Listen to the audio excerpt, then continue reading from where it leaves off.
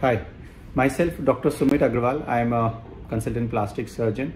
Today I am going to discuss about a very uh, common query that are the results of hair transplant permanent.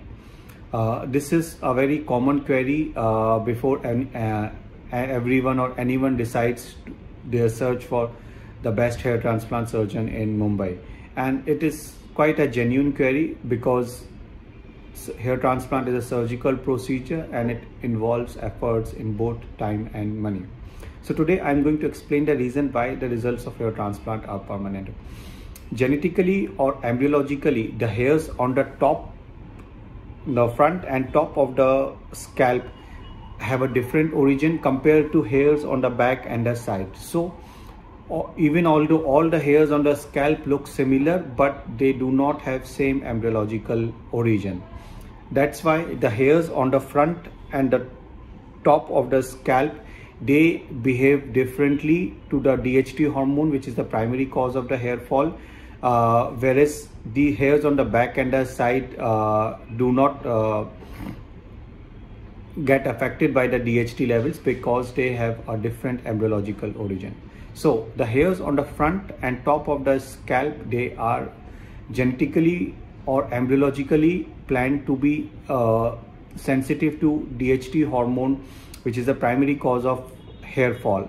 That's why these hairs can fall in if someone is having more sensitivity to DHT hormone and this sensitivity varies a lot from individual to individual.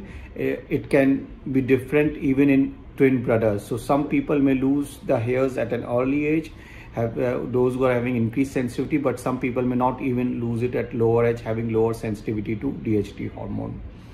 But the back and the side hairs of the scalp they are not they are embryologically different and they are not sensitive to DHT hormone.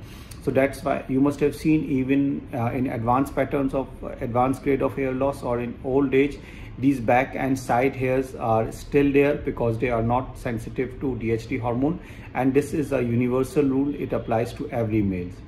That's why in hair transplant these uh, back and the side hairs are plucked and put into the front area because these hairs are uh, not sensitive to DHT and they retain their characteristics even when they are transplanted to front area and they grow there forever. Uh, they do not fall.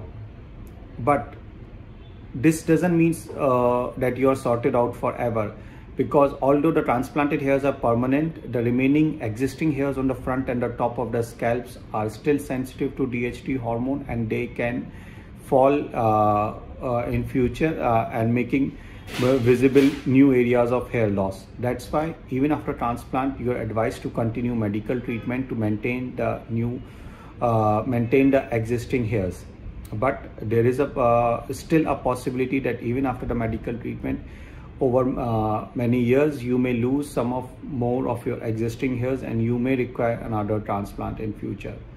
So uh, you re require to take care of your hair even after the transplant. Uh, the transplanted hairs are permanent but yes over the, as as with the aging these hairs also thin out and get gray uh, if you have any more queries regarding uh, hair transplant, uh, how does it works, or uh, you can write us or uh, call us at 932 Thank you.